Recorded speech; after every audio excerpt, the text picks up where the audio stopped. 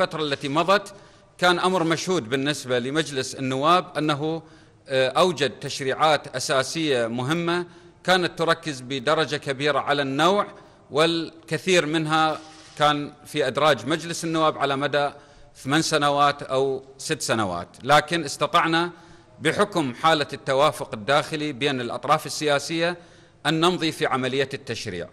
القضية الأساسية راح نركز عليها الحقيقة تتعلق بقانون الانتخابات. وعلى وجه التحديد قانون انتخابات مجالس المحافظات. إحنا أقرينا آه، داخل البرلمان أن تجري الانتخابات متزامنة في يوم واحد النيابية والمحلية.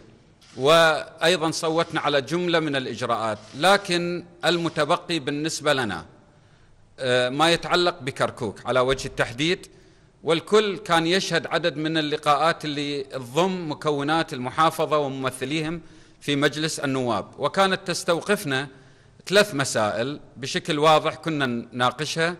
مستقبل كركوك تقاسم السلطة والسجل الانتخابي.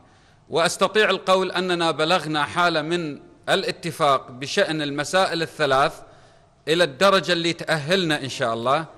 في بداية عمل مجلس النواب أن نمضي للتصويت على الفقرات المتعلقة بقضية كركوك بشكل واضح وهناك مادتين الماده 37 والمادة 52 اللي تقريبا إحنا وصلنا إلى حالة من القبول بالنسبة للأطراف السياسية ما عدا بعض الجوانب اللي أعتقد أنها ليست معيقة وبالتالي نستطيع أن نتجاوزها.